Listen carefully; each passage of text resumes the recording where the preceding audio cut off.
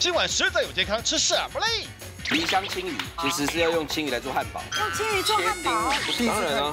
如果说在家里面你一定要做，给小孩子吃，小孩子非常喜欢吃。对，哦，好好吃的样子哦，好清淡，而且好营养哦，好好吃哦。今天下午六点，超市实在有健康。